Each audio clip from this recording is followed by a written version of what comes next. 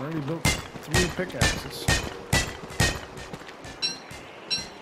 I'll go running this way. Make sure you have fire. Yeah, I do. Nothing killed a run like dying the first night. Yep. it's happened before. Yep. That's my MO. Hey, want to play some Don't Starve? I don't know. Uh, are we going to get past day one this time? Uh, probably not. Okay, let's play. It's like, did I win? I didn't starve. Did I win?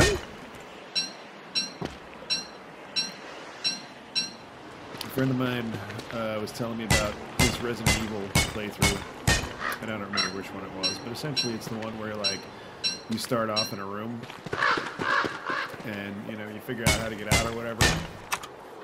Oh shit! Oh, you know what? I'm about to die. I don't have fucking fire. I made one too many fucking. I made one too many torches. Or one too many.